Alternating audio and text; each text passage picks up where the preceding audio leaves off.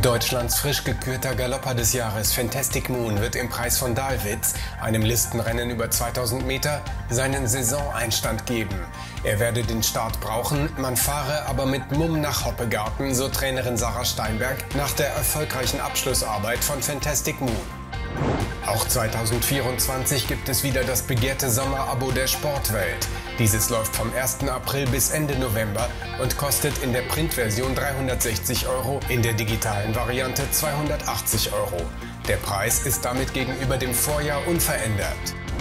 Scheng, der auf dem Hof der Familie Kohlwest gedeckt, ist erstmals Vater geworden. Unter der Woche brachte die Camelot-Tochter Video Diva ein Hengstfohlen zur Welt. Züchter ist Schenks langjähriger Trainer Pavel Wovchenko, der den Hengst 2016 zum Sieg im Sparkasse Holstein Cup der Gruppe 3 sattelte.